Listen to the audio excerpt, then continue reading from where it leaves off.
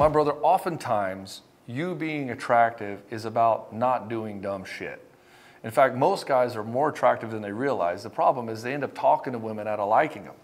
In fact, things are going well. He could even ask for a number, might even go on a date, and then he gets ghosted. And he's just like, I don't even understand what happened he ended up talking her out of liking him. There was something that she liked about him in the beginning, and then all of a sudden, because the way that he was operating in his life or what he was saying, she was turned off by it and said, Yeah, this ain't a good fit for me, or this guy's got some more maturing to do, or this guy doesn't have good social acumen, or whatever. The list goes on. And in this video, I'm going to show you seven ways that you could potentially be destroying relationships even before they get started. My name is Ed Baxter, and I help guys in betrayal situations. I've coached thousands of men. Tens of thousands of men have come through my doors in one form or another. I've had over 3,000 guys come through the Betrayed to Badass program. And that's what we do. We'll get you to that place where you make the right decision for you and your children. I know you don't really have to say this, but poor grooming is often the number one thing because it shows if you're put together or not. It signifies to her, do I and can I be intentional about how I am in my life? It also shows how much you are willing to unleash yourself, willing to really express yourself unapologetically. So if you're like dressing like everybody else and you're afraid to wear jewelry or get a tattoo or whatever it happens to be, or style your hair the way you want to, and you're just cookie cutter like everybody else, this signifies to her that you are afraid. She doesn't want a guy who's afraid. She wants a guy who has a little bit of a wild savage in him, that is unafraid and will do what he wants, why he wants to do it. And so if you're unkept, you don't even wash your hair, you don't comb your hair, or you just wear old clothes all the time, this shows that you don't care about yourself. It also puts you down the social ladder. She doesn't want to be with a guy that she feels above. She wants to be with a guy that she feels a little bit below. Why? Because this means that it elevates her status. And if you can't demonstrate yourself that you're as high a status as possible in the way that you're dressed for your socioeconomic station, then you're really selling yourself short. Now you can be wild, you can be unkept, but it has to be a deliberate endeavor. You have to, she has to see that this is something that you want to do, not something that you are unaware of. And you'll see this all the time. You can wear anything you want. You can dress however you want. You can do your hair, your beard, anything you want. It, but it has to be the way you want to do it. It has to be very deliberate. And you have to own that shit. Like, this is who the fuck I am. And you want to show this in a way that, like, takes a stand. You plant your flag. This is how I am. And so when you're doing it, even if you're wearing normal clothes, there should be some sort of an accent to it, some sort of accent pieces to say, yeah, this is how I am and this is what I like. Most guys don't even think about the conversation of what they like when they wear. They just wear what they see other people wearing because most of the stores all carry a bunch of boring shit. Let's wear some khaki Dockers pants and a red polo.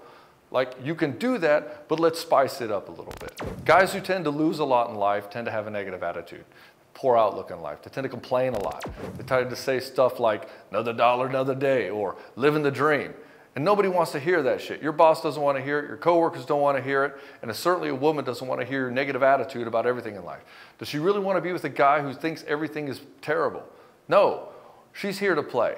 Make no mistake that the woman in your life is here to play. She wants to have fun with you. That's the whole point of the romantic relationship is to play. And Debbie Downer is not a playful guy.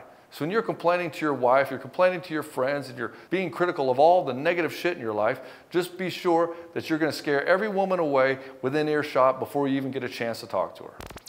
If you've seen anything about trying to attract women, you're going to hear the one thing more than anything else. Seeking approval from a woman is always going to kill her attraction for you. Being needy. And the thing is, is this puts her in the status where she's elevated above you. And she doesn't want this. She wants to be on equal footing. So when you see somebody and there's something you want to get from them, realize you've created a vertical relationship with this person. You haven't created a partnership. When you approach somebody and they have something that you want, so you're going to act a certain way to get that thing, you've entered, a, you've entered a manipulative situation. And so the neediness is really just an act of manipulation. I have to be different to make this person like me. And so you put this mask on to be what you think she wants, but you don't know her. You don't, can't read her mind, so you don't know what she wants. And maybe you might get lucky and you'll put this mask on, it'll be what she wants, but then six months, a year down the road, she realizes you're not what the mask is, and you wonder why you don't have compatibility anymore. And maybe she's doing the same thing. Maybe she's putting a mask on, trying to be her best self, be different than she actually is. And now you got two people who don't even fucking match and they wonder why it doesn't work. And so you trying to seek approval from a woman or your boss or your friends or anybody is going to ruin the relationship. And this is the problem with it. Because when you start talking to a woman, she starts seeing you do this needy behavior, this approval seeking behavior, it's a massive turnoff. Because if you have to get approval from her, then that means she can manipulate you. And if she can manipulate you, even if she wouldn't, she sees you as weaker than her. The whole purpose of a woman being with a guy, she wants to be with a guy stronger than her, more dominant than her, more assertive than her. And so what ends up happening is, in contrast to her, you're weaker. And that's not going to work. She wants to rise up. She wants a guy who's higher status, higher strength, higher dominance, higher everything, if possible. And generally, there's a couple big ones that the woman's looking for, right? Taller than her, even physically, stronger than her physically. And so, you doing this game of needy behavior demonstrates that she's smarter than you, or she's more confident than you. And she doesn't want that. She wants a guy who's stronger than her, more emotionally stable and solid that she can rely on. If she can pull you all around with manipulation and she sees that you're needy, she can tell that other men can manipulate you. Other men can dominate you. And that doesn't make you attractive or safe. And so this is the biggest problem with most guys is that they have needy, approval-seeking behavior and it's a massive turnoff. And a lot of women are very tolerant of this.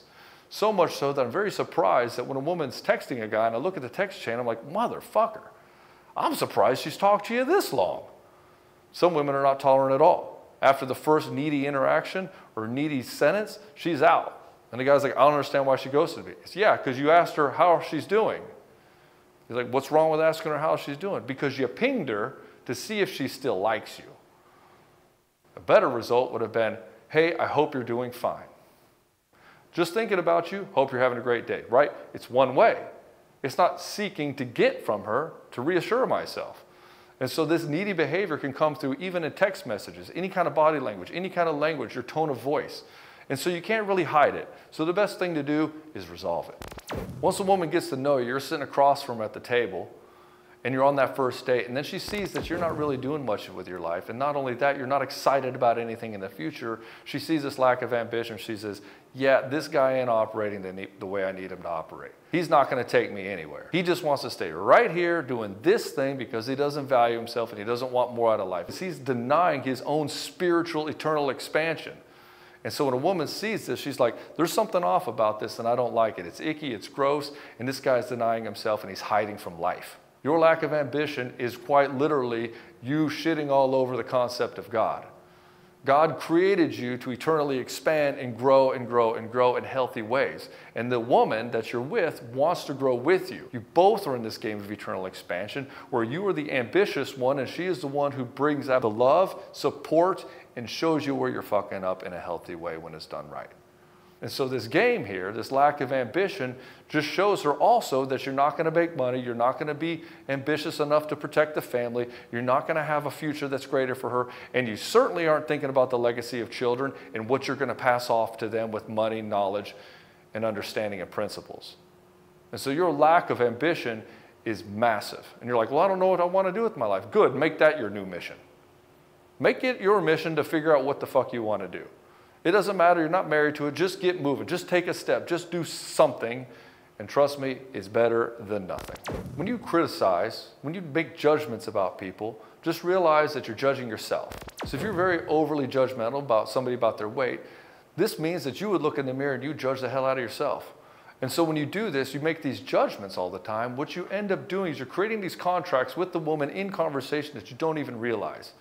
So if you say, yeah, look at that woman over there who's overweight, what you're telling her is, you better not get overweight. And when you say, I can't stand people of this political whatever, you're telling her, you better not be like that because I don't like that. And so you create all these situations with her, all these judgments on her, and what she does is she starts to wither. She starts to see, yeah, I can't be with this guy. He's restricting the hell out of me. He's telling me all the things he doesn't like all the time, which means that he's closing up and all the possibilities of how I can possibly operate. And you do this over and over and over again. And the more critical you are, you'll realize that even in your own life, you operate within a narrow window of judgment and criticism, and you're probably miserable. Because every judgment that you put out there, you're pointing it back at yourself. And you're putting it out onto all the other people around you. This is why when you go around and you just tell people what you don't like all the time, like, I don't like hanging out with this person. All I just talk about all, all things he doesn't like. He's criticizing things. An open hearted and clear person tends to welcome all.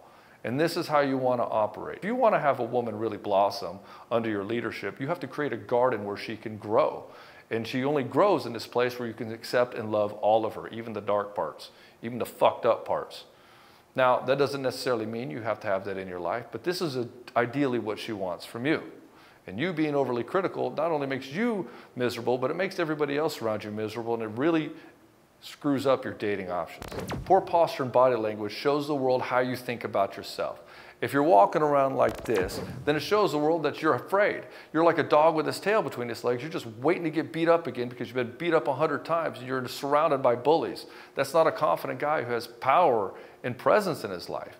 But when you're walking around with your shoulders back and your head up, and you can walk around in a dominant fashion, and people like that guy is not afraid. That guy's built some shit. That guy knows how to defend himself. That guy has intrinsic power.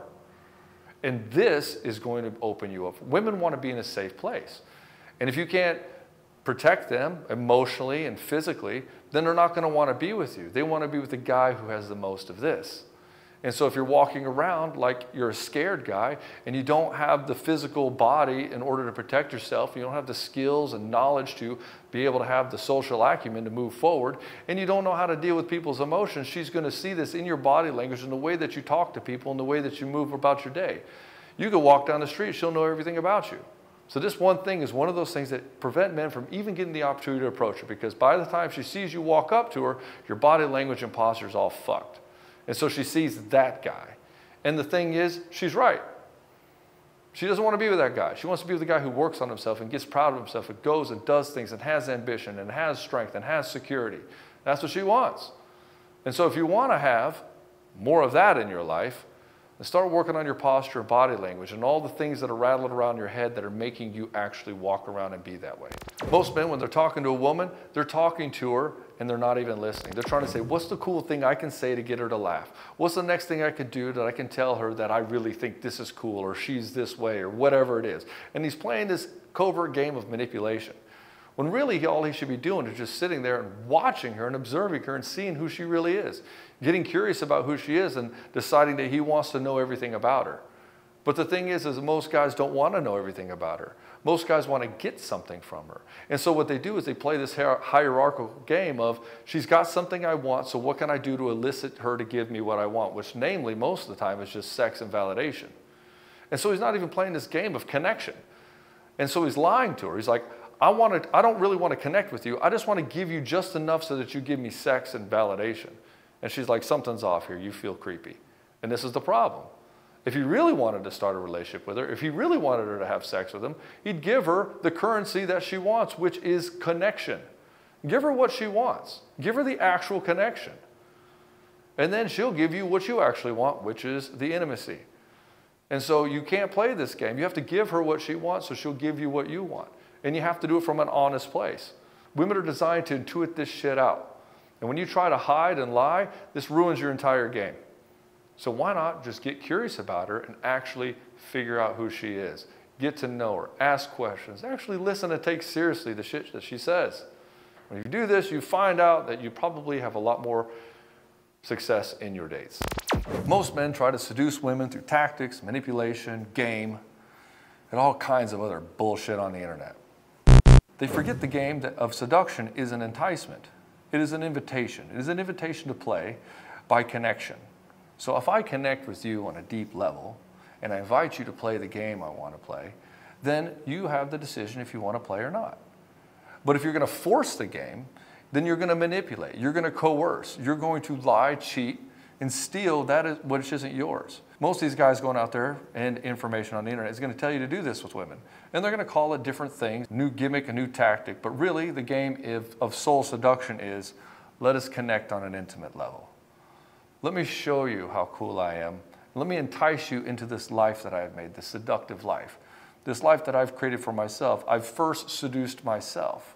And because I've seduced myself and have this amazing life that I absolutely fucking love, and I work very hard to get it, and I'm very proud of it, and I can show it off with confidence and be proud and unapologetically express who I am, then when I have my eye on you, you may find it seductive. And that's cool. We'll go play that game. But if not, that's okay too. I don't need anything from you. I just want to play.